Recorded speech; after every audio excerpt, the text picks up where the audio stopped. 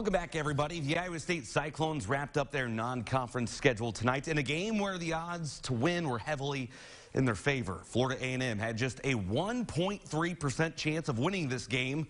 That, according to ESPN stats and info. Well, I guess anything can happen. No Tyrese Haliburton tonight as he is out with a wrist injury. Rasir Bolton taking over his role. He had a great game tonight, nails a three-pointer to put the Cyclones ahead by two. So we go ahead to under six to play. FAMU on a scoring run. Brendan Miles gets the tough shot to go. Rattlers up by six. 2.59 to play.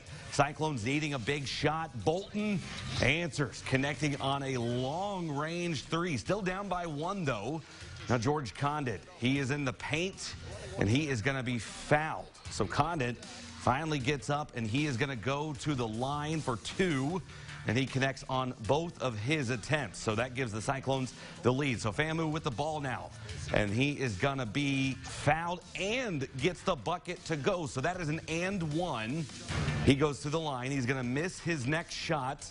So we got 10 seconds left on the clock. The Cyclones with a chance to hopefully take the lead. And Rasir Bolton is just going to fumble the ball, turn it over, and that is how this game ends. Sheer shock. FAMU wins it 70 to 68. Here's Prohm of the game.